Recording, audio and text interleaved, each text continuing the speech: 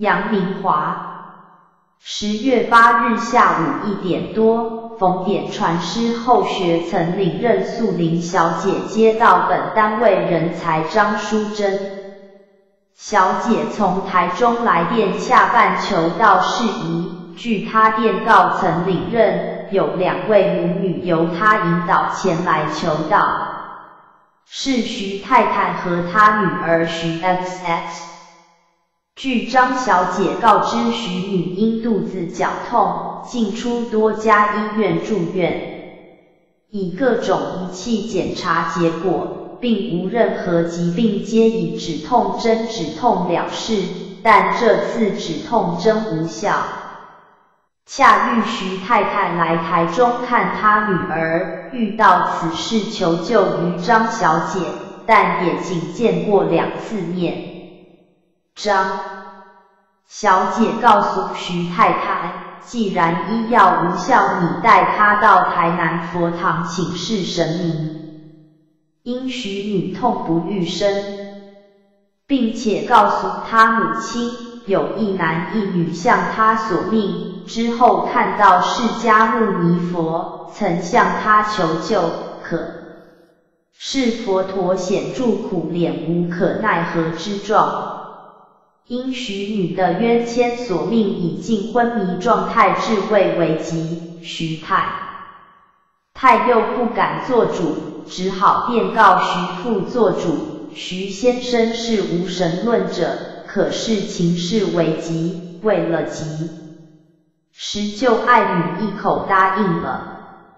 此外，张小姐又找一位别祖县的通灵到青州小姐，并告诉她徐 XX 之事，请他和徐父一道来义和圣堂帮忙处理。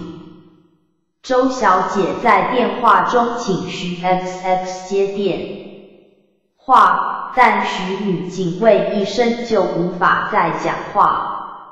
由此，周小姐就得知有冤签在索命，是尽速到佛堂求道，在途中沿路叫醒她，绝对不能让她昏睡，否则一睡不起就完了。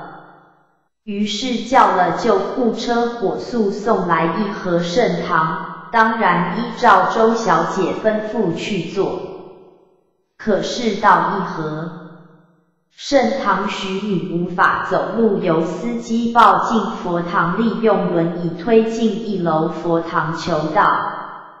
请谈后仍然不省，人事奄奄一息。由徐太太代跪拜，经点到后就哭出声，但仍然不能说话。点传师探情况有异，立即斥参与人和徐母等拜慈悲头之后才醒过来。从澎湖与他祖县的周小姐赶来的徐父目睹此状况，亦跟着求了道。之后徐 X。X 小姐逐渐好起来，如正常。但此时仅求到救了她一命，他与冤签的因果上不能算解决了事。由周小姐带往台南市他祖县之佛堂商谈解决之道。徐 XX 父母等他可正常去上课，在中部念大学。后于十月卅日在本圣堂开人，才在教育班时前来见证徐 XX 求道经过及处理经过。编者按因篇幅关系，不做详细报道，由他父母著书感谢皇恩，并作功德回向冤签。